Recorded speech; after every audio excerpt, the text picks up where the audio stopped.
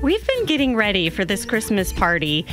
And we've been trying out all these different games to play. And so I have one more game I want to play, but I got to pull it up here. We've actually put it on our website at hisradio.com so you can find it and play it at your game so, or your party.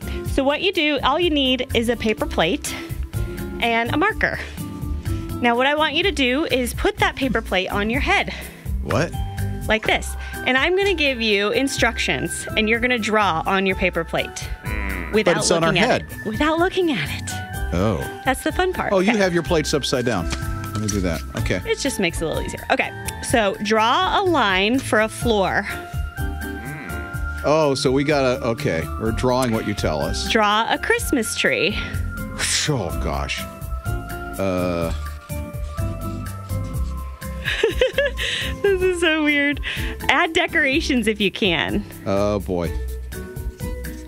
You know who's gonna boss this is Jim Mann. He's like the most creative. I've seen him draw. now my draw a head. star on top of your tree. Oh no. Still decorating.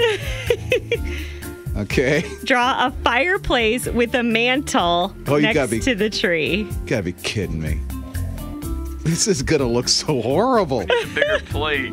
I'm gonna put a I'm gonna put a stocking on mine. Oh, that's the next step. Draw Okay. a stocking hanging from the mantle of your fireplace. I put two, I think. now draw a present below the tree. Oh, where's my tree? oh my word. I just drew on my head. Oh, now everybody look at your drawing. Oh, oh. Oh, it's perfect. Ali did great. Show. Can you show? Can I see? My presents are in the middle of my tree, but okay, so now I'm gonna have you add up your points. Wow. So, does your tree touch the floor? Sure does. If it does, you'll get two points. Mine does not touch the floor, just barely. Okay, so get two points for that. Two points if your hmm. stocking touches the mantle. I can't tell. For that. I'm gonna do it. One point if your star touches the tree. wah, wah. Mine does not.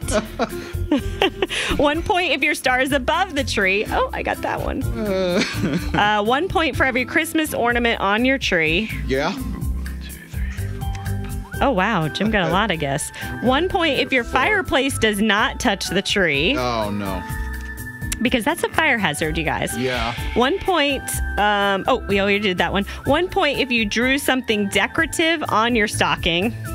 Uh, yeah. Were you an overachiever? Oh, yeah. Um, two points if your presents are under the tree. Yeah, wow, are. I did really bad.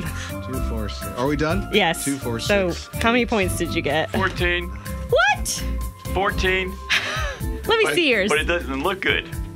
I got pretty good. I had 13. Yeah. which means I won. Wow, I only got six. But look at mine though. yeah, yours is a mess. Oh. This is a hot mess. I But- can't wait for you to see this on his radio TV. By the way. We're gonna play this at the His Radio Christmas lunch today, so I'm- you guys have a little leg up. Well, I'm bringing this. I already know I got 13 points out No, of this. I'm changing the plates, so we'll know. You no, can't cheat. don't China. do that. We're using China. By the way, you'll see all of these party games that you can bring to the party that you're going to for this Christmas season, your small group, Sunday school, uh, at hisradio.com. You can also text the word game to 800 447 7234. Merry Christmas. The kids are dropped off.